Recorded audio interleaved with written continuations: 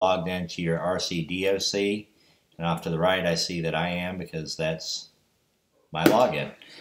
You want to go to your search bar, type in Chrome Store Extensions, and click on Chrome Web Store. From there, these are just the different extensions that you could possibly download, although I do not believe that you all have access to all of them.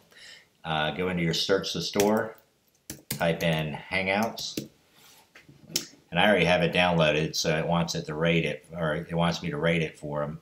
But if I didn't have it already, everywhere it says rate it, it would say add to Chrome just like all the other ones. So Google Hangouts, I have the option of removing from Chrome. You would want to install the extension from Chrome.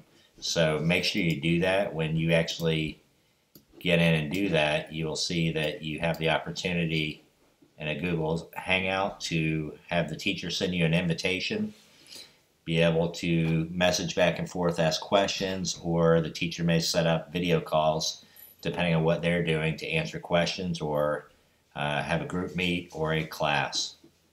If you have any questions, please feel free to have your parents email me and I will get in touch and try to help out. Thanks so much. Hope you're doing well.